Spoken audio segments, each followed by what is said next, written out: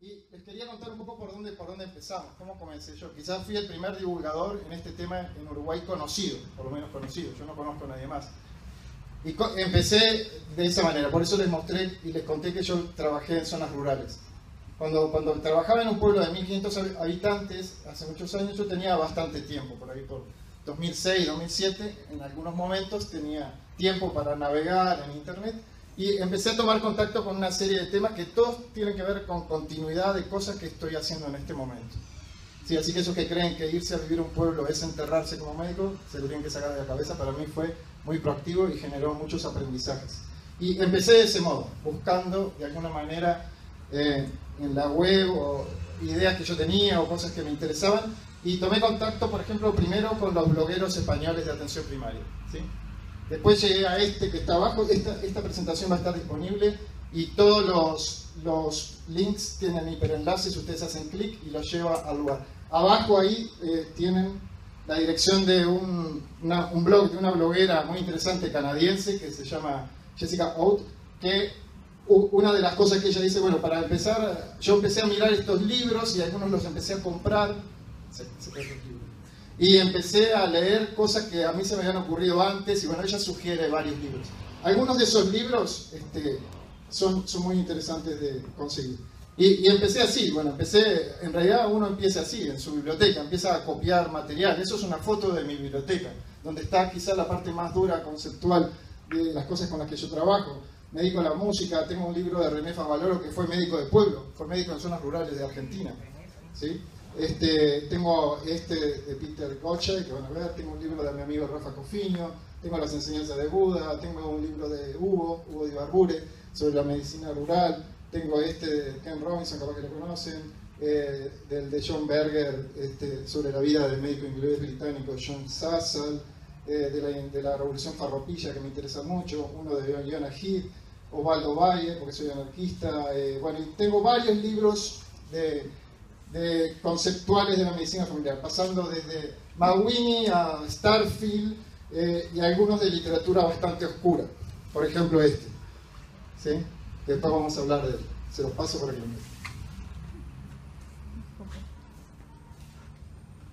Uno de los que estoy ahora leyendo es este. No se los queden, después me tienen que devolver porque los estoy leyendo.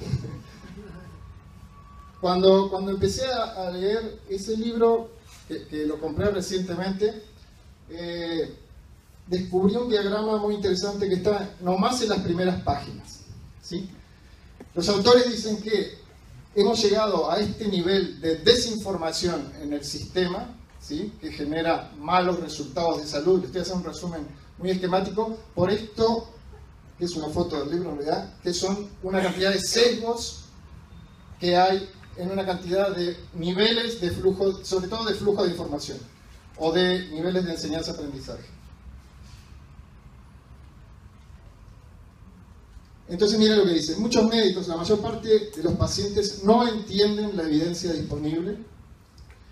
Esto ha generado un sistema ineficiente que malgasta recursos de los contribuyentes en exámenes y tratamientos e innecesarios, incluso dañinos. Entonces ellos hablan, que este es el diagrama traducido de algún modo, de que hay como unos siete pecados, ¿sí? o siete niveles de, desentendimiento, de mala información. En inglés usan la palabra, sería analfabetismo, ¿no? Y que no tiene una traducción este, formal en, castellano, pero esos son los sesgos en definitiva. ¿sí? Y es como una ecuación, ¿no? La, la suma de todo esto hace que tengamos pacientes desinformados eh, y por lo tanto, de algún modo, tenemos malos resultados de salud. El libro lo que propone en definitiva es cómo, o sea, no se queda en el análisis de la visión de por qué llegamos hasta aquí y analizar los egos, sino, bueno, hay, hay algunas alternativas para lograr proponer el libro que en 2020 tengamos una salud mucho mejor, con mejores resultados. Entonces, vean, por ejemplo, cita varios sesgos yo, para hacer más breve esto ir, quiero ir solamente a algunos que tienen que ver con lo que hacemos todos los días, pero tienen que ver de manera eh, muy, muy oportuna o a veces drástica en las decisiones que tomamos y en las, en las acciones que emprendemos cuando estamos sentados frente a frente con una persona en el consultorio y de esa comunicación se desencadenan una cantidad de decisiones o acciones. Entonces, tenemos que hay sesgos en la financiación de la investigación. ¿Sí? Tenemos mucha literatura actualmente que habla de esto, del peligro de esto. Tenemos que hay sesgos en la publicación de trabajos, no solo en la financiación de la investigación, sino en la forma de publicar. las revistas más conocidas por nosotros, JAMA, New England Journal Medicine, todas esas tienen un financiamiento de las grandes farmacéuticas, a veces de más del 75%. ¿sí? Y si ustedes analizan la literatura no publicada, van a ver que la literatura de malos resultados o literatura gris en realidad casi nunca tiene opción de entrar a las revistas de este tipo, que son las más leídas por todos los médicos en el mundo. Y son de las que si ustedes no la leen, igual los que toman la evidencia para hacer las guías, para aplicar todos ustedes, la toman de ahí. Hay información sesgada en los medios, en los medios masivos de comunicación, conflictos de interés de tipo comercial en todos los niveles, en nuestro nivel institucional, personal, macro, en todos los niveles. Eh, la medicina defensiva es una barrera que produce malos resultados y carencia de información en los médicos para analizar la literatura en forma crítica. Entonces, por eso le pasé primero al libro de este señor, que créanme, que se pronuncia Getschai. Ese coche es eh, un señor que escribe este libro que tiene ese nombre muy duro, ¿no? Medicamentos que matan. Alguien por ahí, si no lo conocen, ¿quién lo conoce a coche? Este, que no lo conoce puede decir, bueno, este tipo es amarillista, ¿no? vende panfletos. Este tipo es el director de la Cochrane de Dinamarca, nórdica, Dinamarca. ¿sí? No es un vende panfletos. Y las cosas que dice en ese libro son muy duras. Ya tenemos la versión en castellano, está traducida. ¿sí? Y bueno, dice cosas muy fuertes que a mí este, me han hecho interrogar mucho sobre las decisiones que tomo cuando estoy frente a un paciente en el consultorio. ¿Sí? Porque hay, hay, los sesgos son tan importantes, tan importantes, que ponen en duda eh, en otro libro se pone en duda toda la arquitectura sobre la que está soportada nuestra educación, la, educación que recibimos nosotros como médicos y la que estamos manteniendo con nuestras capacitaciones permanentes. Eh, sí, claro, todo es cuestionable. Eh, el 85% de los estudios financiados por la industria, eso lo dice este libro, es de Ben, ben Gold, Gold Goldacker, se pasó. Está la bibliografía, si quieren, está ahí, la pueden mirar. Dice que el 85% de los estudios financiados por la industria dieron resultados positivos. Sin embargo, si se analizan los metaanálisis de estudios que han sido financiados con eh, financiamiento gubernamental, solo el 50% este, muestran resultados positivos. Está, bueno, ese es el libro, ¿no? Esta persona, que también podría decirse que es un amarillista, es un, es tipo bastante duro. Ha, escrito un, un, bestseller que se llama, este se llama Mala Pharma, ¿no? El otro se llama Mala Ciencia, Bad Science, que es un bestseller, vendió 500.000 ejemplares, él es un epidemiólogo británico, eh, y la, la evidencia que muestra es muy fuerte, muy fuerte en el libro. Él, por ejemplo, entonces acá una alternativa a los sesgos de financiamiento de publicación de la, investigación. ¿no? Porque nosotros empezamos a tener esta mirada muy oscura de las cosas y decimos, guau, que estamos atrapados, no hay salida. Bueno, hay, hay eh, todas estas publicaciones también muestran algunas alternativas para trabajar y para buscar salidas. Este señor, con otros tantos, promueve esta iniciativa, que no sé si ustedes lo conocen, que se llama Trials, que es, bueno, hacer que todos los ensayos de, que, hace, que la farmacia, la industria farmacéutica presenta, sean eh, presentados ante un concilio, un, un buró, eh, que toma conocimiento, los inscriben en un registro nacional de investigación y eh, las farmacéuticas tienen que firmar un convenio con, la, con el grupo de trabajo, en, del grupo de investigación de la Comunidad Europea y adscribir a los términos que dice que cuando ellos hagan el ensayo, ¿sí? esa, esa base de datos luego tiene que estar disponible para todos los analistas independientes que quieran acceder a la base de datos para sacar sus conclusiones. Un laboratorio ya ha suscrito, ¿sí? Eh, no recuerdo en este momento cuál es, ha, suscrito a los términos, pero uno solo, ¿no? Uno solo. Y seguramente no es de los laboratorios que tienen más compromiso este, en este sentido. Pero es una iniciativa que está prosperando mucho, está apoyada por el British Medical Journal. Tomemos otro sesgo. ¿no? Este, hay sesgo, los medios masivos todo el tiempo están conspirando, eh, algunas veces colaboran, pero yo diría, no, no tengo números, pero buena parte de las veces conspiran contra la actividad del sistema sanitario porque promueven, hacen la promoción de algunas informaciones que no son siempre correctas o que tienen algunos sesgos o porque el que está promoviendo esa información es dueño de la empresa que vende ese servicio, o es el dueño del aparato, o es el dueño de, o es, tiene algún conflicto de intereses comerciales, o porque la información está mal. En cierto modo, la evidencia que sustenta esa información no es correcta, porque hay que publicar y hay que comunicar noticias, y cuando las noticias sean más este, urticantes o más también amarillas, son, venden más, por supuesto.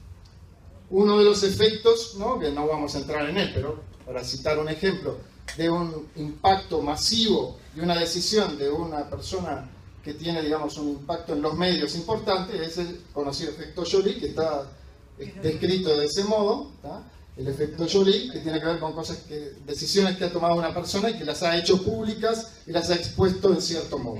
¿sí? Y eh, ahí tienen un enlace donde se dice algo, por ejemplo, del efecto Jolie, pero hay publicaciones en revistas científicas sobre el efecto Jolie. Pero hay otras alternativas. Tomamos un sesgo con una parte oscura y veamos, bueno, hay, una uruguaya que se está este, haciendo un litigio contra el Estado porque ella no quiere hacer su mamografía, que tiene que hacer para el control de cumplir el carnet de salud, ¿sí?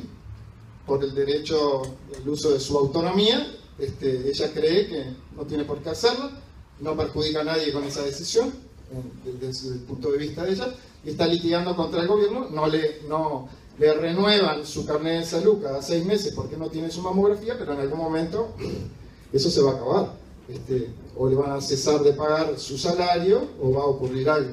El litigio todavía no hay pronunciamiento formal. Todo dice que las etapas que se van cumpliendo es que no, no dan lugar a su reclamo. Eh, ella ha hecho un libro, ha publicado, si hacen clic ahí van a ir al enlace. Y bueno, la medicina defensiva estamos todos expuestos. Yo trabajo en el ámbito, trabajo en ACE, pero también trabajo en el ámbito privado. Tal vez creo yo me, expongo más a la medicina defensiva, probablemente creo en mi, experiencia personal en, el ámbito privado.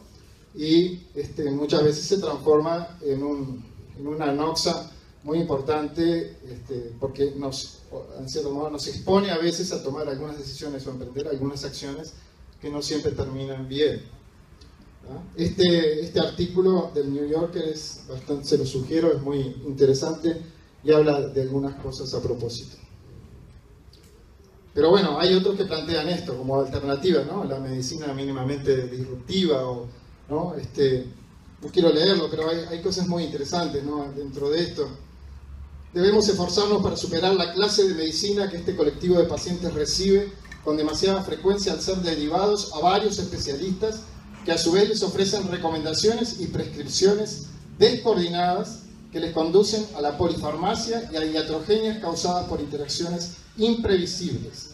En esta práctica, que los autores han llamado medicina fracturada, los pacientes se sienten más abrumados por la carga del tratamiento que por el peso de las enfermedades que padecen. Bueno, el, sesgo de, ¿no? De poder leer un trabajo críticamente, bueno, en eso estamos, se combate con formación, formación, formación, leer mucho, tratar de tener algunas herramientas que hoy no podemos abordar, que son importantes para, para hacer lectura crítica y uno poder decir, bueno, esta evidencia que tengo delante, eh, tiene, ¿qué validez tiene? ¿Qué aplicabilidad tiene? ¿Me están vendiendo un verso? ¿no? Eh, podríamos hablar mucho de estas cosas, la idea no es hoy abundar. Quería hablar un poco de los sesgos para pasar un poco al concepto de la, de la prevención cuaternaria. Eh, bueno, y dentro de este sesgo tenemos, como yo decía, muchas herramientas, eso, podemos aprender eh, y saber cómo, cómo realizar una lectura crítica, hay lugares donde podemos acceder a información que ya está preprocesada y podemos ya saber cuál es el análisis que se ha hecho previamente de esa evidencia.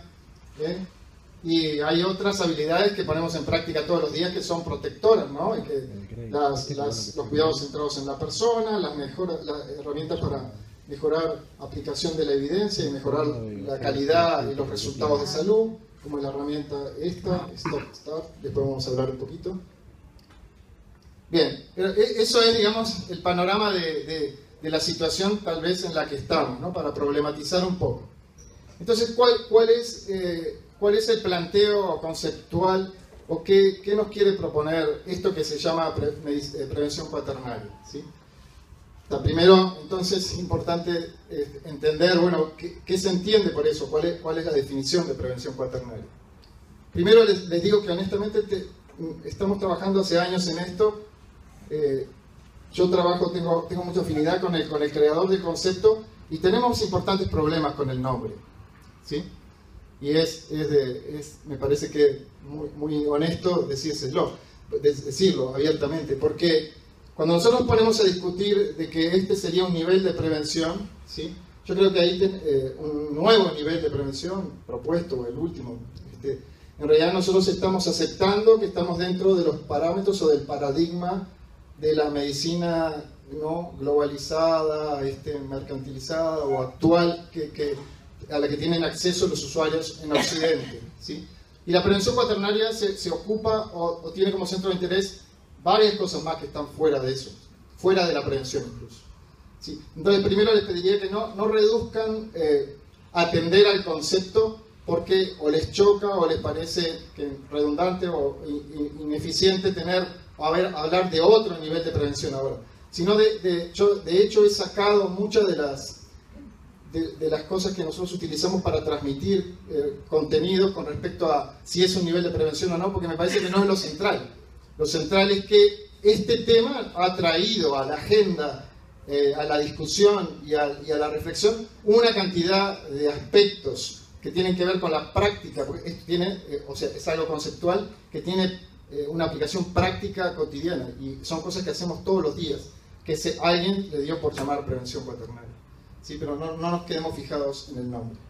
La definición dice esto, entonces, que la prevención cuaternaria entonces es una acción implementada para identificar a un paciente o población en riesgo de sobremedicalización, o sea, de exceso de medicalización, protegerlo de intervenciones médicas invasivas, proponerles procedimientos de cuidados ética y médicamente aceptables y que estén sustentados en una evidencia sólida o justificada.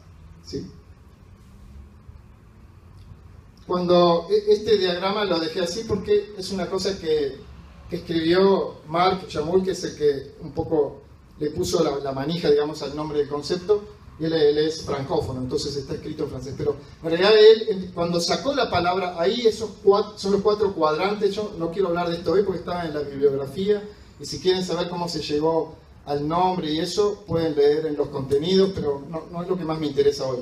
Pero la idea es que hay en, este damero hay cuatro cuadrantes, uno es la prevención primaria, la secundaria, la terciaria, el azul y el rojo, la cuaternaria. Él sacó, esto tenía los títulos, no prevención primaria, nada, él los sacó y dejó solo las definiciones. Y cuando él, decía, cuando yo leo las definiciones, lo que leo es una lista de tareas o de acciones que hace el médico en su actividad diaria. Rehabilita, este, trata de hacer diagnóstico precoz, previene las secuelas, promueve salud, este, hace prevención primaria, es una lista de tareas. Esto también solo para pasarla, pero bueno, en estos días él, es Smart, está haciendo unos, unos talleres sobre divulgación de la prevención paternaria en, en Lyon, él es belga, y estuvo trabajando estos días en, como una reformulación de, eh, de, una definición nueva, distinta de salud. ¿Por qué, ¿Por qué traigo esta definición? Porque a veces es mucho más simple comprender este concepto a través de qué es lo que pretende o cuál es la mirada de los que lo aplican que de ponerse complicado en hablar de si es prevención y qué tipo de prevención es. Y miren qué, interesante lo que él escribe sobre esto. que eh, la resistencia, la salud es resistencia. Resistencia a la enfermedad por sí misma, también resistencia a la violencia y al abuso, a los medicamentos, resistencia a la explotación, a la comida chatarra, a la contaminación, a las pésimas condiciones de vida, a la industria farmacéutica, incluyendo la resistencia a la mercantilización de la salud y debido a eso, a veces, una resistencia a la medicina en sí misma. Nosotros somos profesionales, somos, como profesionales de atención de la salud, te ayudamos a resistir. Solo para pensar un poco, ¿no? Esto se le ocurre a alguien que es el, que piensa en el concepto de la prevención cuaternaria. Quise, quise hacer un solo diagrama eh, para, para, para transmitir un poco, ¿no? esto que yo decía, este fue usado en una presentación por Jacqueline y me parece que está bueno porque es uno, es uno que hizo alguien de Uruguay. Porque todos los otros diagramas o, mapas conceptuales eh, vienen de otro lado. Bueno, en realidad a ella se le ocurrió muy interesante, ¿no? Como la, la prevención cuaternaria está en todas las etapas, si nosotros analizamos esto sí como niveles de prevención, está, participa de todas las etapas, de la prevención primaria, de la secundaria, de la terciaria, pero también tiene que ver con promoción de salud. Muchas, muchas de las acciones que emprende el sistema pueden ser analizadas o visualizadas desde el enfoque de, prevención cuaternaria, de la actitud cuaternaria, y podemos encontrar ahí algunas cosas interesantes, algunas medio perversas, algunas que inducen daño. Esto, o, sea, yo, yo, les pregunto, yo me lo cuestiono mucho. Eh, en Uruguay nosotros estamos proponiéndole a nuestras usuarias que se hagan una mamografía por el carnet de salud anual, eh, anual desde los 40 años, la, o bianual. ¿cuál, es, cuál, es, ¿Cuál es la sustentación de evidencia eh, que nosotros tenemos para asegurarle a la usuaria cuando la tenemos sentada frente que esto es así, es real? Todas las guías de casi todas las partes del mundo, este, del mundo que ha, que ha, investigado, tienen más ensayos sobre esto, han cambiado esa, esa pauta. ¿sí? Y no se recomienda más mamografía en Canadá y en la mayor parte de Europa, a mujeres solo desde los 50 en adelante. Y claro, como screening estoy hablando. Es distinto cuando estamos hablando eh, de otro nivel. Estamos hablando de prevención secundaria. Examen que está utilizado en forma masiva en población sana, cribado. Solo se han encontrado en algunos metaanálisis algún eh, beneficio para población de 50 a 65 años, no de 40 a 50. Eso le propone, no, o sea, esta inducción de probable daño, yo no voy a decir que hay daño, pero si hay inducción de probable daño, esta la propone el sistema. No la propone el sistema y a nivel macro, ¿no? Es una política, un decreto. No la propone ni una institución, ni un colega sentado en un escritorio porque se le ocurre que hay que hacerla así. No, lo, propone, lo promueve el sistema y lo obliga el sistema. Sí, entonces, como que tenemos distintos niveles también de cómo analizar este, las acciones ser protectivo o este, no inducir daño. Tenemos nivel micro, que es el contacto con, nuestros usuarios, el médico, el profesional, el equipo de salud. Nivel meso, cuando nos reunimos y conversamos de estas cosas, podría ser un nivel meso. Y nivel macro, que es un nivel más institucional. Una pregunta. Sí. Prevención cuaternal y promoción de salud no es lo mismo. No es, no es lo mismo. ¿Qué diferencia tiene?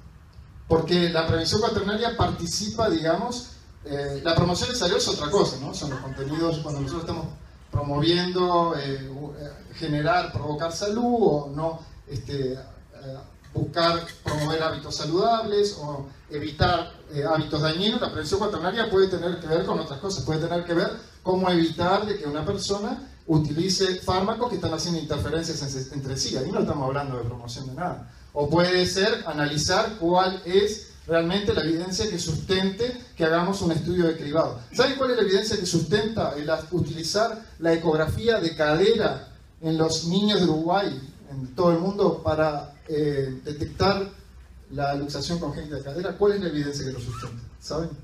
No hay evidencia. No hay evidencia que lo sustente.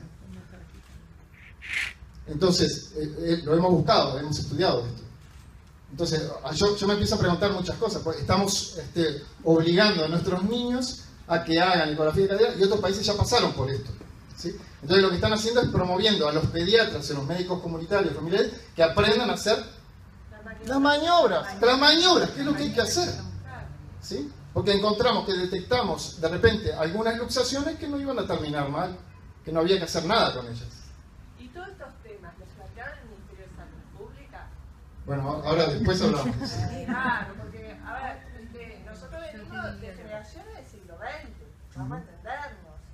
Y a esta altura estamos cansados de leer en los libros que los profesores, que los ministros, que los políticos y los gobernantes nos vendan, nos metan y nos, nos empujen a hacer cosas que en realidad, digo, eh, la movida de la gente que lo tiene más claro no se ve a esos niveles.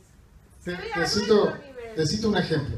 Por, por eso que nosotros, en realidad una cosa en la que estamos trabajando es en instancias de este tipo, porque eh, no se trata de lo que nosotros hacemos, se trata de lo que hacemos todos. Y esto es un movimiento, en realidad lo que yo creo que esto es un movimiento. ¿sí? Es un movimiento en el que no solo participan los gobiernos, los rectores de la salud, las instituciones que venden servicios de salud y los, eh, los que ejecutan, digamos, ¿no? Este, la salud. Que so- que- o sea, nosotros, que somos los que estamos en el contacto directo con el usuario muchas veces para tomar decisiones en este sentido y decisiones compartidas, que es importante. Entonces, si nosotros empezamos a generar reflexión y discusión y masa crítica, estos temas llegan a la agenda política. ¿sí? Si nosotros no empezamos a discutir, no empezamos a hablar de esto y nadie se pregunta y aplicamos la guía de POC así como viene, pero no, o sea, yo no estoy diciendo no aplicar guías, yo aplico guías todo el tiempo, yo utilizo fármacos todo el tiempo y yo mando exámenes todo el tiempo, yo hago medicina clí- clínica, clásica, tradicional, occidental, todos los días de la vida y tengo una carga de pacientes diaria altísima. Estoy expuesto a tomar decisiones todo el tiempo. Yo acá no estoy hablando ni de medicina esotérica, ni de mística, nada. Estoy hablando de evidencia, de evidencia de Sackett, de la Cochrane, de evidencia dura. Hay evidencia dura que ataca, ataca muchas de las cosas que hacemos como práctica cotidiana. A mandarle a las señoras a hacerse, a ver si tienen osteopenia. Eso no se debe hacer. ¿Qué Señor diferencia Sanz. tiene entonces con la medicina basada en la evidencia? Tiene como mucho parecido, ¿no? Claro, sí. En realidad la prevención cuaternaria toma elementos de la medicina basada en evidencia. ¿Qué pasa? Sackett te lo dice, ¿no? Yo iba a traer justamente un pensamiento de Sackett a, a- perdón, a propósito de esto. Sackett, que, que es de algún modo uno, uno de los creadores de, de la medicina basada en evidencia, dice que al fin de, de- de- mucho pasar tiempo, lo que se creyó que era una solución, ¿sí? que era una manera de poder aplicar la mejor evidencia para una y el mejor conocimiento para solucionar determinado problema termina muchas veces siendo arrogante, abusiva con los usuarios y genera sobrediagnóstico, daño. ¿sí? Eso lo dice Sackett, no lo digo yo, no lo dice este talibán que está parado acá, lo dice Sackett. ¿sí? Entonces, este, hay, hay, mucho, hay mucho tela para cortar y hay mucho escrito sobre esto. ¿eh?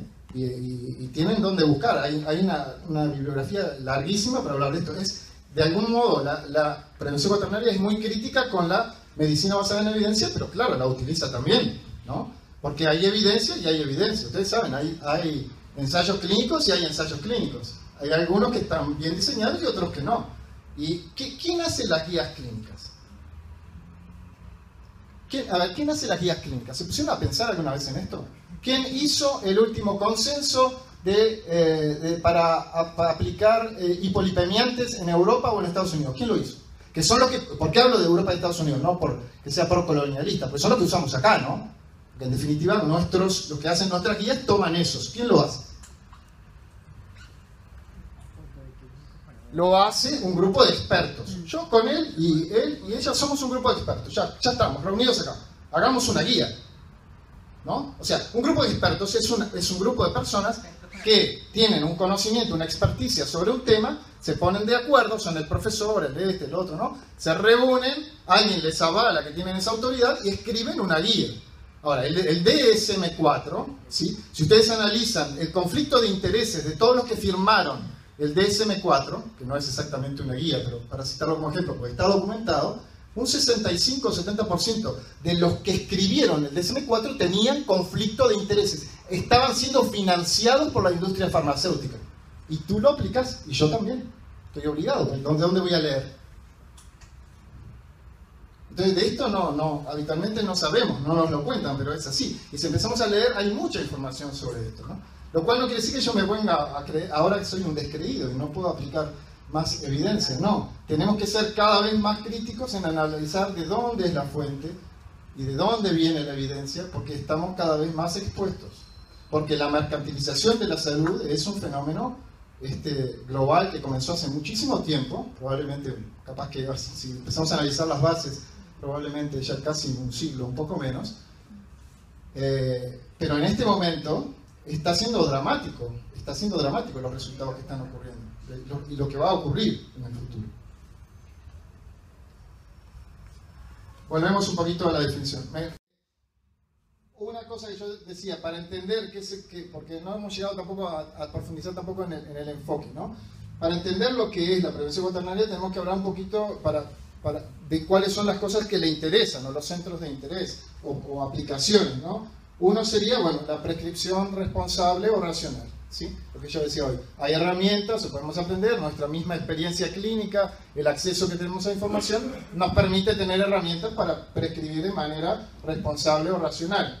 Hay algunos factores que tienen que ver con la ética y la promoción de salud. Si bien hay líneas macro gubernamentales o de, la rectoría que se aplican a, lo que yo hago y no lo puedo modificar, hay otra cantidad de cosas en las que sí este, puedo, eh, eh, puedo moverme con más soltura.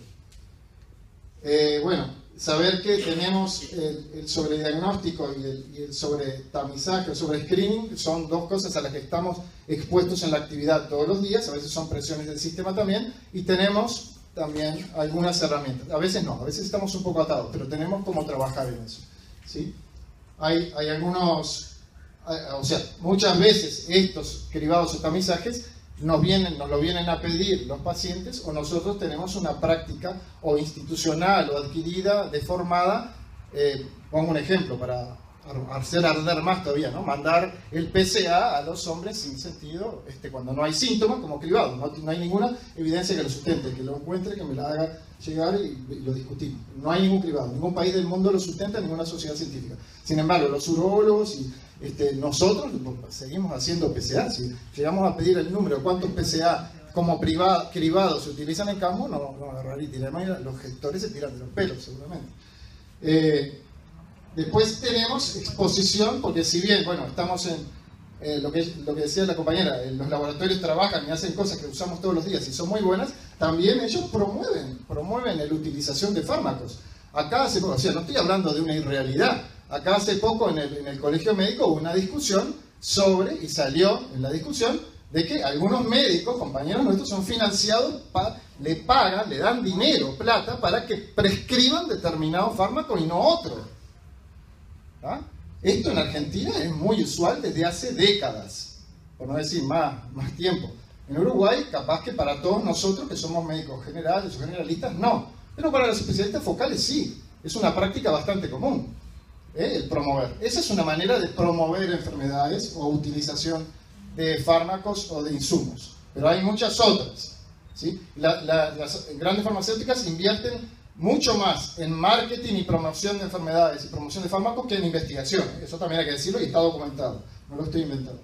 Y después tenemos eh, que aprender a trabajar con la multimorbilidad. Yo estoy realmente asombrado en mi práctica de, de cómo todos los días a ustedes les pasa todos los días, tenemos cada vez, va creciendo más, más, más nuestra población de adultos mayores, con muchas patologías, con muchos fármacos, muchos de los cuales, por más que yo quiera desprescribir, no los puedo sacar, porque están buscando algunas acciones. Bueno, eso es, muy, eso es una complejidad altísima con la que tenemos que aprender a convivir y aplicar buena evidencia, la que haya.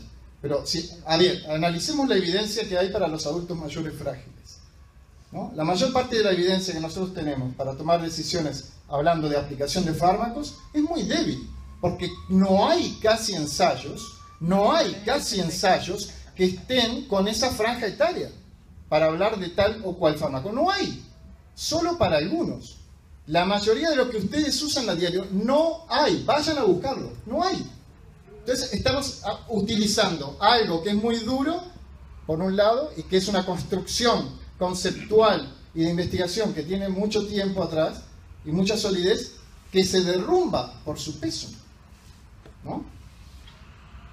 Yo no lo, estoy diciendo yo, está todo, ustedes pueden, eh, o sea, veo muchas caras escépticas, podemos este, parar y ustedes pueden leer la evidencia, hay mucha evidencia de esto, no, no es un invento mío. ¿Están escépticos o están interesados o los estoy aburriendo? Bien. Eh, otras cosas de las que se ocupa, bueno, tiene el, el, sustento, el sustento ético, el marco conceptual sobre que está construido el concepto de la prevención cuaternaria, de la actitud, el enfoque cuaternario está sustentado en los principios éticos de nuestra práctica, ¿sí? de la práctica médica. Es, es, muy fuerte la estructura conceptual sobre la que está sustentada y su, fundamentalmente sobre el principio de, del primum non nocere. ¿no? Eh, y hay que tener en cuenta, bueno, que hay conflictos, que tenemos que usar fármacos, pero que hay conflictos, hay conflictos de intereses permanentes, las instituciones los tienen, los médicos los tienen. Este, yo tengo una, les cuento así, una cosa que esto, a veces uno se siente un poquito así como comentaste vos o como dice ella, un poco atado de manos, ¿no? yo hay cosas que no, no, puedo modificar, por más que no me guste, la mamografía se la van a tener que hacer y si no se la hacen, un día no le van a pagar el sueldo, es así. Pero puedo hacer otras cosas. Yo acá, por ejemplo, se los paso para que lo vean. Un poco porque con algunos pacientes a veces cuesta, si, si cuesta explicar esto con colegas, ¿no? Este, y transmitir un poco cuál es el centro de la cosa, con los pacientes a veces es bastante más complejo. Entonces yo escribí esto. Yo a los pacientes que ya conozco desde hace un tiempo, les doy solo la, la página de adelante, la de atrás no. Eh, es una especie de currículum, de hoja de vida que hice, en la que hago mi declaración de conflicto de intereses. Digo, por ejemplo, que yo no llego tarde a la consulta nunca, lo cual cumplo, que no atiendo el celular en la consulta, lo cual hago, está apagado o está mudo, eh, que no recibo visitadores médicos en mi consulta. Lo tengo escrito y yo se los paso. Entonces, eso a veces da, da motivo a, explico en lenguaje más simple que, más fácil de transmitir que, que encontré que se entiende por la prevención cuaternaria. Eso es una cosa que yo puedo hacer más allá de la institución, del sistema, de, quién sea el ministro. No importa nada. O sea, en mi práctica, cuando estoy sentado delante del paciente, estoy en la casa visitándolo, tengo la libertad eh, de hacer muchas cosas. Algunas no, pero muchas puedo hacer. Estos son los principios, vamos a avanzar un poquito. Entonces uno empieza a hacerse algunas preguntas, o tiene que hacerse algunas preguntas si quiere aplicar el, el, el enfoque. ¿Sí? Estas preguntas llevan muchas veces a tener una serie de problemas. Por ejemplo, que tiene que gastar un poco más de tiempo con algunos pacientes, con algunos pacientes, o con la mayoría. ¿no? Y tiene que empezar a preguntarse este tipo de cosas. Bueno, ¿cómo, ¿cómo, actúan ustedes cuando un paciente les dice que no está dispuesto a recibir un determinado fármaco o hacerse un determinado examen? Lo cual es bastante frecuente. Cada vez más frecuente, afortunadamente, porque las personas tienen acceso a información y de repente leen cosas. Y vienen o con el celular y te ponen una página web, o traen algo impreso, o te dicen que vieron, ¿no? Este, bueno, y tenemos que preguntarnos, ¿cómo, cómo actuamos? ¿Qué fortalezas, qué herramientas tenemos para contestar? ¿Podemos acceder a todo ese conocimiento? No, no es posible. Tenemos que tener algunas herramientas que nos permitan abrir como algunas ventanas para que nos permitan poder trabajar en estos aspectos, porque son aspectos cotidianos y muy importantes. Y los cuestionamientos son muy importantes, porque si nosotros no centramos el foco ahí, nos vamos al carajo. Porque eh, cada vez más, cada vez más es importante centrar este, el foco en las decisiones compartidas con la familia, con el paciente, al nacimiento, en la adolescencia y al final de su vida. Y si no tomamos esa consideración, estamos expuestos a problemas. Discutimos con los pacientes los escenarios posibles cuando les proponemos realizar una prueba. Por ejemplo, los falsos positivos. Muchas veces viene el mismo ejemplo, el del PSA. Yo muchas veces le, digo a las personas, ¿qué, ¿qué, pasa si te da un positivo, pero que es falso? ¿A qué te, te, no importa si es falso, olvídate que es falso, te da positivo. ¿Sabes todo lo que va a ocurrir después? ¿Cuál es el punto de corte? ¿Saben cuál es el punto de corte para, para las biopsias de, de, próstata? Cuando uno le encuentra un PSA y hay que hacer biopsia. ¿Cómo se encontró? Decir, bueno, tenemos que hacer 8, 10, 18. No hay evidencia. Es opinión de expertos. Es opinión de expertos. O sea, en esto, en ese acuerdo, no hay evidencia. Estamos mandando a un señor a eh, exponerse a se va a exponer fundamentalmente a dos cosas, a no encontrar un cáncer que tiene, que probablemente no lo va a matar, o a encontrar un cáncer que sí tiene, que no sabemos si lo va a matar definitivamente o no. Porque eso es lo que sí sabemos de cáncer de próstata. Cuando hacemos autopsias, ¿no? el efecto reservorio, cuando hacemos autopsias en los países que hacen autopsias en serio, le encuentran cáncer de tiroides y de próstata a tanta gente que con el cáncer de tiroides Los anatomopatólogos dicen que es un hallazgo normal encontrar cáncer de tiroides. De tamaños pequeñísimos, ¿no? Es una, para el anatomopatólogo es un hallazgo normal. A la, presidenta del país vecino le sacaron la tiroides por esto, ¿no? Hicieron un magnicidio a pequeña escala, es una cosa que yo hablo, ¿no? Hay cantidad de ejemplos de magnicidios a pequeña escala. Ella se puso un poco loquita con una cantidad de cosas que pasaron, capaz, porque le sacaron la tiroides también, ¿no? Este, sin, sin habérsela tenido que sacar. Bueno, un poco de culpa debe tener, pero los médicos de ella también tienen. Siempre hablamos de los beneficios y las desventajas de los métodos diagnósticos que le proponemos a los pacientes. Cuando le decimos a una persona, usted tiene el FKT positivo, no tiene antecedentes en su familia de cáncer de colon, pero ¿qué viene? ¿Qué viene ahora? ¿Qué sigue? ¿Cuál es la mortalidad de la fibrocolonoscopía en el campo? ¿Cuál es la mortalidad de perforación? ¿Cuál es la, incidencia? ¿Se lo decimos? ¿Se lo decimos? Si, uno, si yo me tengo que hacer la fibrocolona, yo lo pienso mucho, ¿eh? entonces tengo que ponerme en el lugar cuando estoy planteándoselo a alguien. Yo no me la hago, eh, o sea, tengo que saber que el otro puede decirme, yo no me la hago. ¿La institución acepta eso también? ¿En qué riesgo? Porque también nos sometemos después a los riesgos de la medicina defensiva o de la mala medicina. O sea, cuando sale de mi consultorio salen muchos pacientes sin una prescripción de un fármaco. ¿está? Varios pacientes salen. Muchos de esos pacientes a veces, sobre todo en el sector privado, le comentan a nosotros, no sabe nada, no me dio ningún fármaco. ¿No? Me fui sin un fármaco de la consulta. Las personas quieren que les indiquemos fármacos, es el lugar que nos ha, la cultura nos ha otorgado. ¿sí? Entonces, eso es una cosa que es re difícil de manejar porque es un, contenido cultural este, con una construcción muy, muy, larga que es muy difícil trabajar, pero hay que pensar en eso. O sea, no te tiene que paralizar, pero tenés que pensar.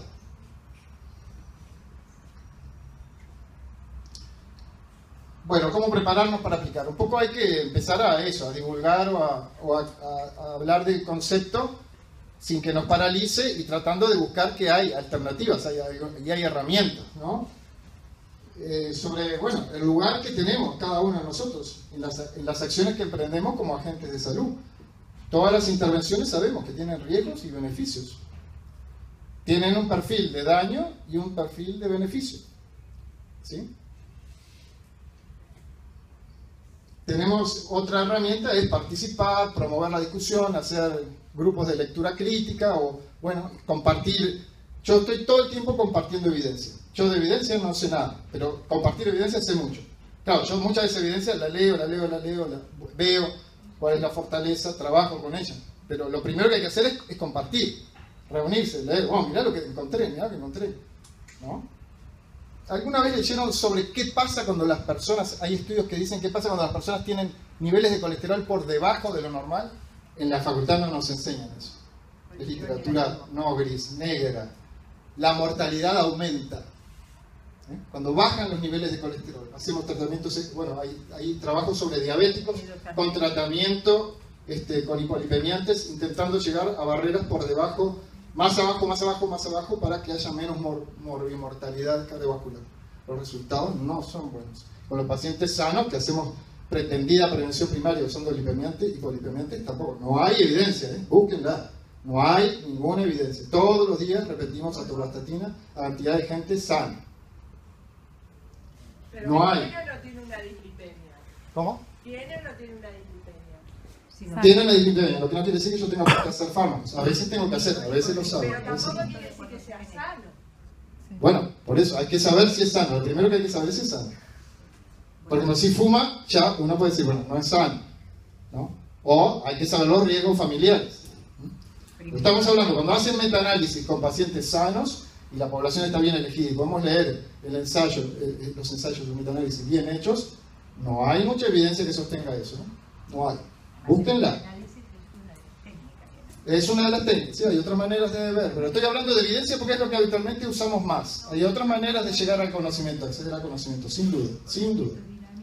Y hay otras maneras de, bueno, de, intercambiar ¿eh? las discusiones de estos, estos, en estos temas en grupos, hay, hay acceso, ahí tienen dos herramientas de acceso, una es más, más promiscua, digamos, porque está en Facebook y hay contenidos que son algunos no son, son para que lo vean los médicos, otros son para usuarios, y hay herramientas más, hay listas de correo, tenemos un grupo de trabajo, tenemos lugares donde podemos hablar entre médicos para no generar, porque esto genera alarmas después también, ¿no?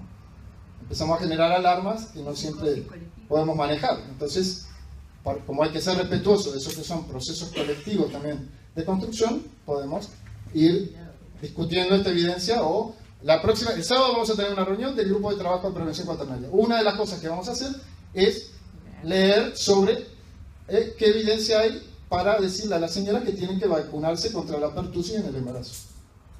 O para vacunarse de la gripe, como estamos queriendo vacunar en Uruguay, o para otra. Ya hemos discutido sobre la vacuna HPV. Hay otros aspectos, estamos terminando ya, no sé la hora, pero seguro que estamos pasados. Este, no, voy a, no voy a leer ni voy a, voy a profundizar en esto, pero bueno, una de las cosas que preocupa mucho para el enfoque cuaternario es el exceso de la medicalización, cuando transformamos problemas de la vida cotidiana de las personas en enfermedades y no lo son. Para muchos países o en muchos entornos la pobreza es una enfermedad, este, hay muchas cosas que se vuelven enfermedad. El embarazo, que es una situación sana, a veces se puede yo no estoy diciendo no controlemos embarazos, embarazos en mujeres bien controladas, pero a veces transformamos en una enfermedad algunas cosas. ¿Cuál es la evidencia que hay para poner 0,92 de glicemia como punto de corte? Para decir que una señora tiene una diabetes gestacional. ¿Cuál es? ¿Saben? Hay muy poca evidencia. Hay muy poca evidencia.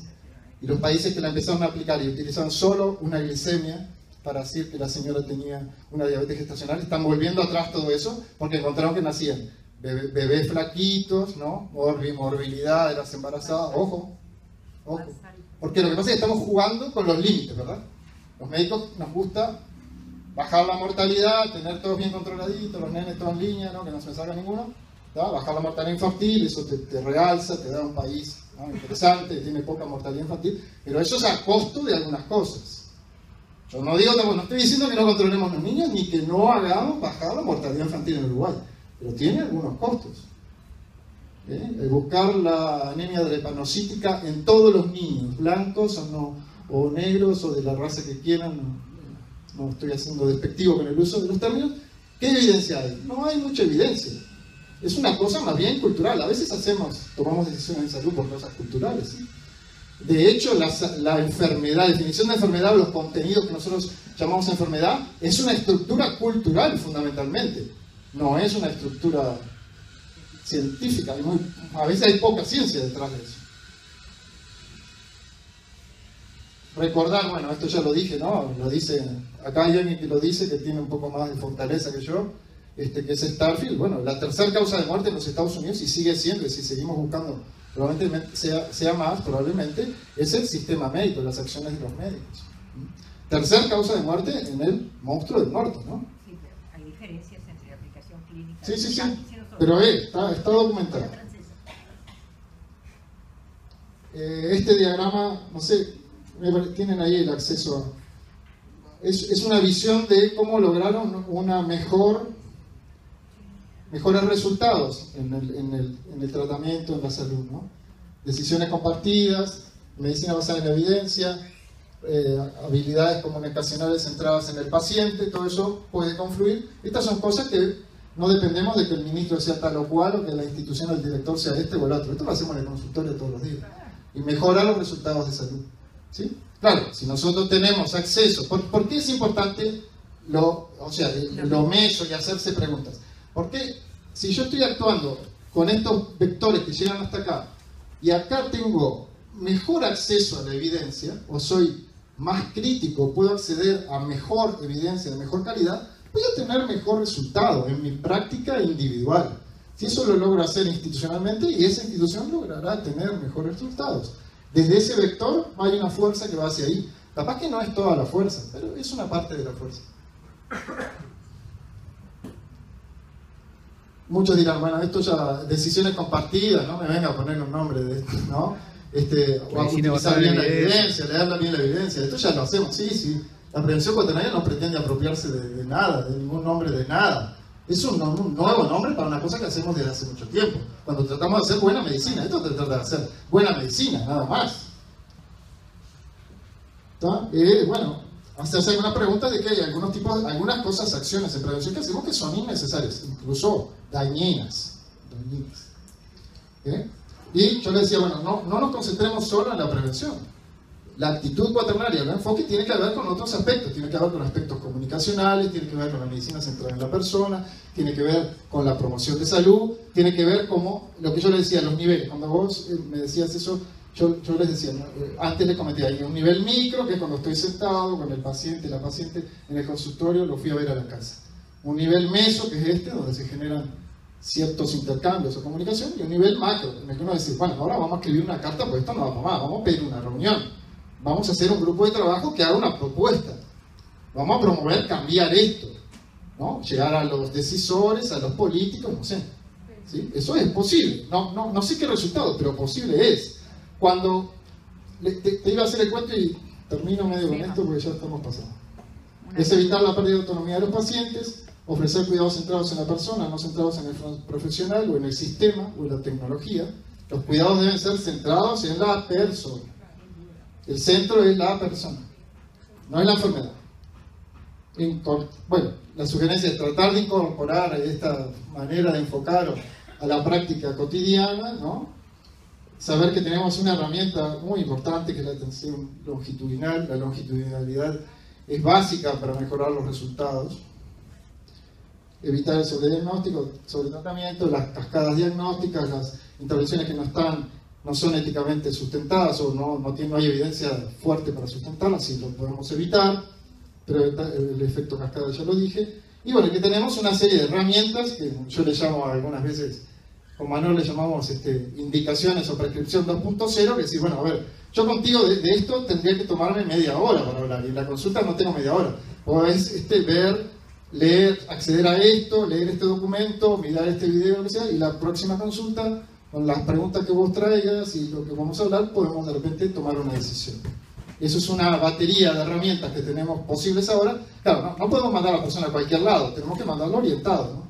Nosotros tenemos de hace un año más o menos un blog que es para poder hacer prescripción 2.0. Entonces, cuando alguien viene tiene lumbalgia, yo digo, mira, no, no vamos, estás teniendo epigastralgia, no vas a usar más, este, no querés usar más este antiinflamatorio, eh, vamos a hacer, te propongo que mires este video que te propone algunos ejercicios para evitar el dolor lumbar, lo, intentar hacerlos, Son, o sea, yo le doy una fuente que no es, no dañina, que tiene buena, buena información, y a la próxima consulta viene y me cuenta. A veces funciona, muchas veces funciona, pero es un recurso más que tenemos.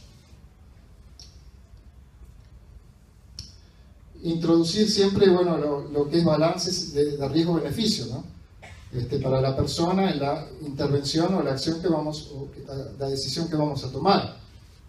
Recordar que todas las medidas preventivas no tienen el mismo efecto. No es lo mismo vacunar contra algunas enfermedades que contra otras, no es lo mismo este, tamizar algunas enfermedades que tamizar otras. Exacto, privar o hacer tamizaje para algunas enfermedades que para otras. Es muy importante, y lo podemos hacer en todos lados, introducir ciertas líneas de investigación, aunque sean chiquitas de esto. O sea, ¿cuánto nos propusimos que identificar polifarmacia en esta franja etaria de usuarios? Y buscamos, vamos a las bases de datos y buscamos, bueno, ¿cuántos pacientes consumen más de 5 fármacos y tienen esta franja de edad?